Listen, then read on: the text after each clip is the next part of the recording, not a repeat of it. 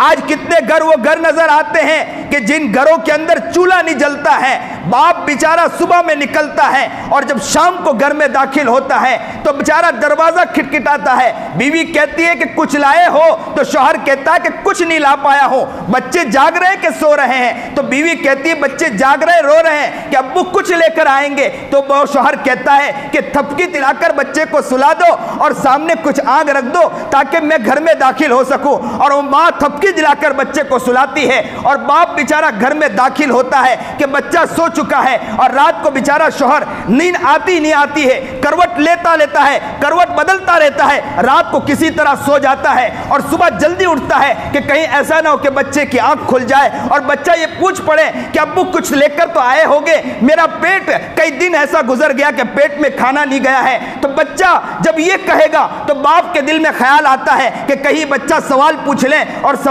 पूछने पर मैं जवाब न दे सकूँ तो बाप बेचारा सुबह जल्दी उठता है और उठने के बाद बच्चे के पेशानी को चूमता है और बच्चे के पेशानी को चूमने के बाद कहता है कि बेटा, मैं तेरा कैसा बाप हूँ कि तेरे लिए मैं कुछ गिजा भी ला नहीं सकता हूँ, तेरे लिए एक रुपया का खर्च नहीं कर सकता हूँ। और बेचारा बाप रोते रोते घर से बाहर निकल जाता है और दिन भर कोशिश करता है, फिर भी कोई कमाई नहीं हासिल कर पाता। और आज हमारा हाल ये है कि लाड़ियों पर देखो, दुकानों पर देखो और आज होटलों में देखो तो हमारे यहाँ पर ऐसा माहौल बन चुका है कि हमारा नौजवान जो है, वो लाड़ियों की जीनत बन चुका है और जबान के चटखनियों के पीछे पड़ा हुआ है।